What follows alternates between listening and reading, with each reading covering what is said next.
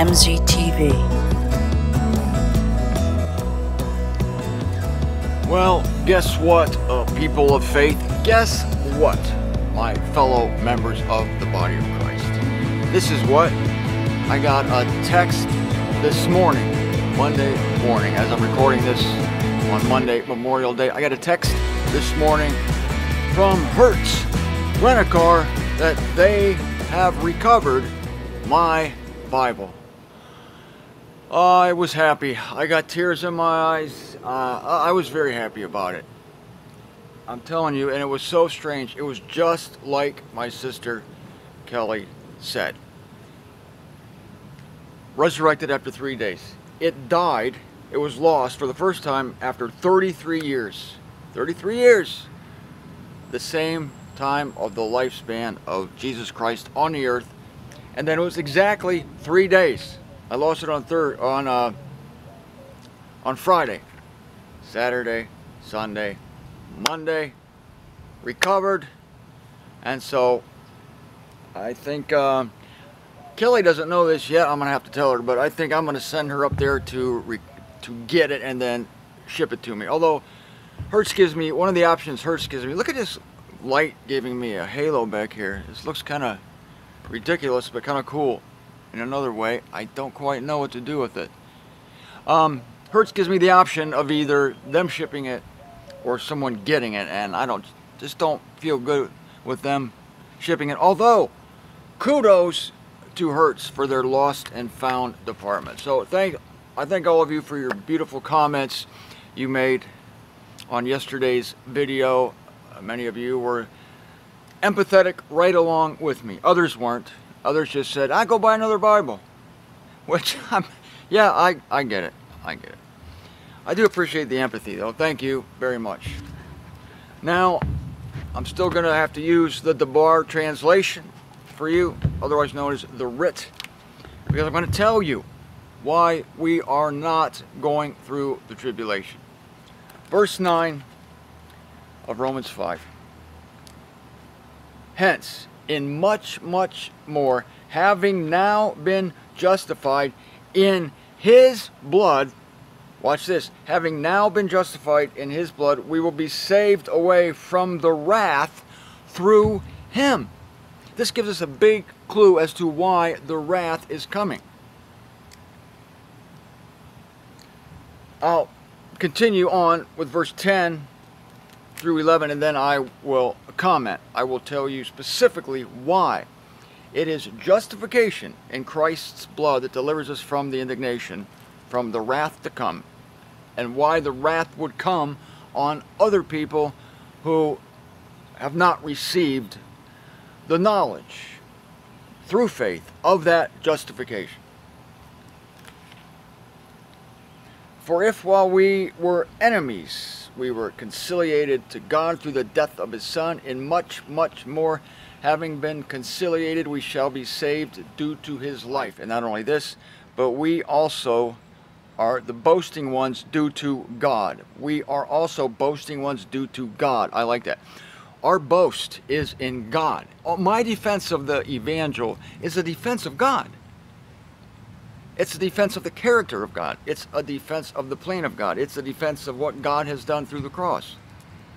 Not only this, we are the ones boasting. We are the boasting ones due to God through our Lord Jesus Christ, through whom we have now taken the conciliation. Much more, having been justified in his blood, we will be saved away from the wrath through him. The key phrase there is in his blood justification, that is being made righteous. Justification means being declared to be righteous by God. And the reason we are declared righteous by God is an act of Jesus Christ. Not everyone knows this. The entire Christian world doesn't know it.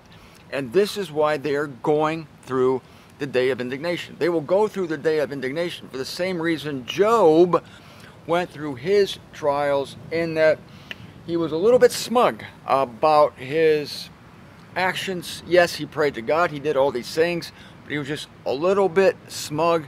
Remember, he had made a pact with his eyes not to look upon a maiden. He was a little bit righteous in his own eyes. And this will be knocked out of a person. And it was knocked out of Job, Job through his trials.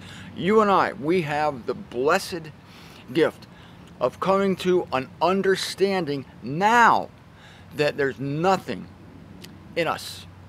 I talked to somebody over the weekend who is a Christian and who still has this idea that they are saved because of their belief in Jesus Christ. And so that can only lead to self-righteousness. Of course, you may deny it.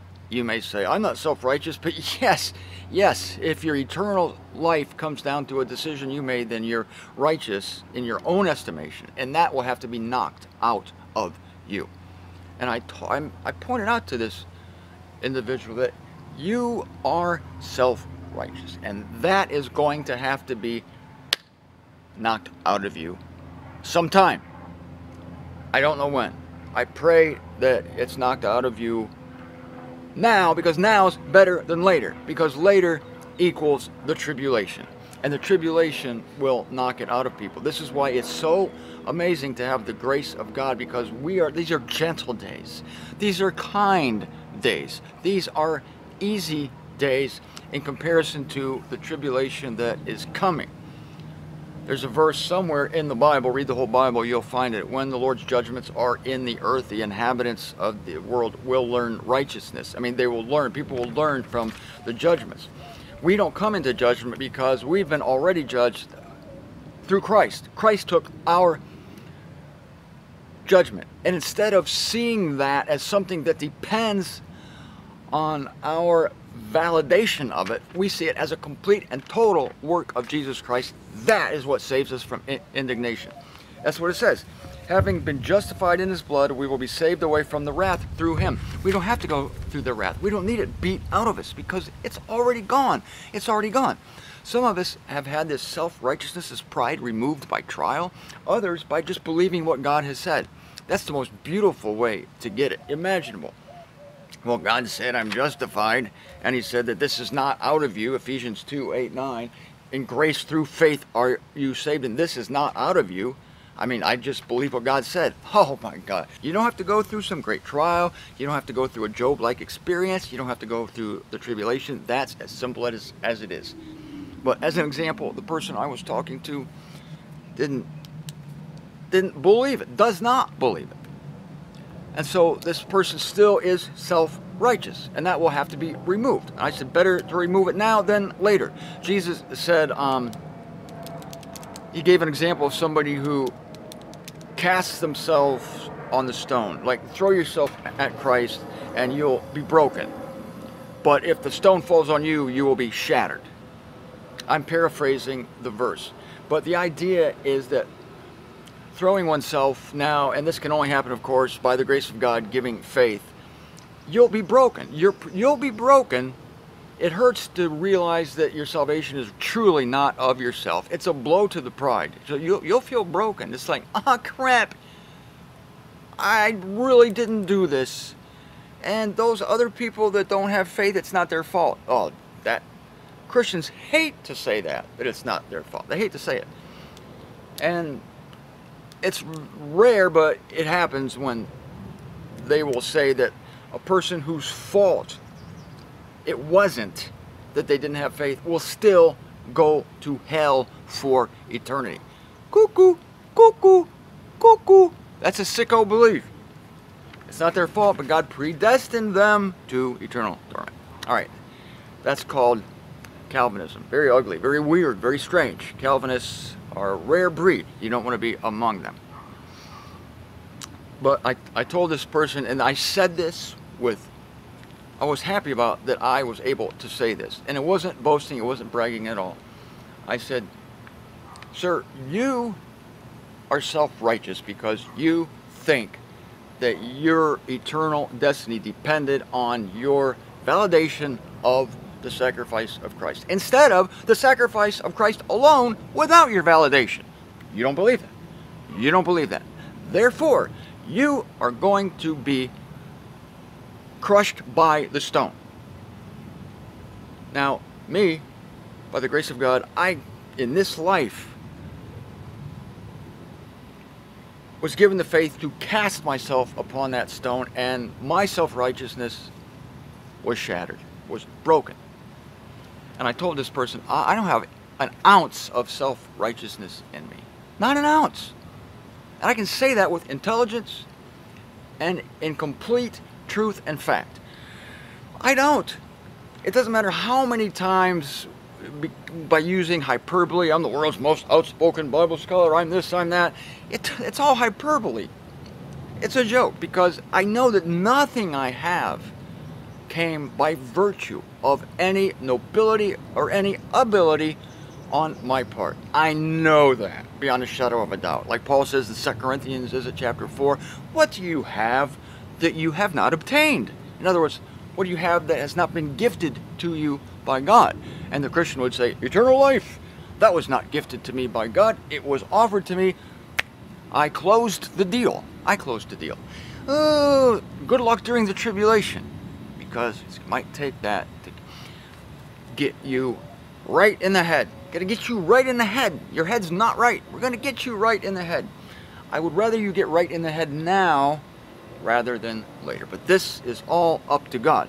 But we are those for whom God has given the amazing gift of justification. We have been given the faith now, the faith to understand, uh, uh to uh, understand that we are declared to be righteous by God. And it is through the blood of Christ. We've been justified in his blood.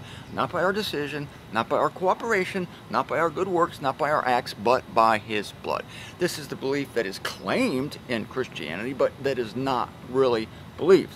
It's feigned faith. Their acquiescence to this, their verbal um, agreement to it is a false front. Behind it is, it's the uh, whitewashed wall. Behind it are the bones of self-righteousness. It's still there. It doesn't matter if you whitewash it or put it in a sheep's suit. It's still a ravenous wolf that you, that you, you can't hide. You just have this arrogance, this air about you that you're better than these losers going to hell. Okay, yeah. That's got to be that's got to be knocked out one way or the other.